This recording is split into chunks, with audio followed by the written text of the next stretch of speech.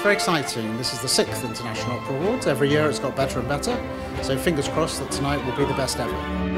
Well, it's just a party. It's just fantastic. What a surprise to be nominated. Jupiter. Yeah, fine. Let's do it. Let's keep it keep it alive. And opera brings these amazing inventions of, of the human spirit all together in one fantastic package. Welcome to the 2018 International Opera Awards, sponsored by Mazars. It's a genre who can change the world. It's transformative, and I think that's what we want opera to do.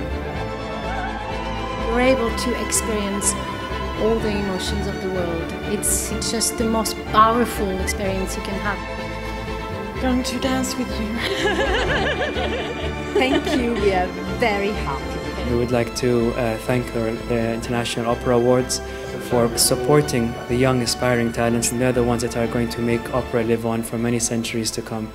Well, it's an art form that speaks to absolutely everybody, anywhere in the world.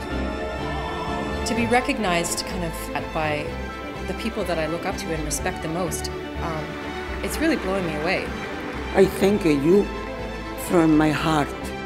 It's fantastic. I don't know what to say. Oh my God, it's extraordinary. And what an amazing night. Really have never seen anything quite like it.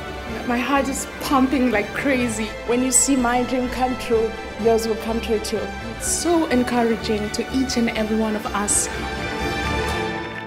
Porque la ópera es sobre todo vida, vida.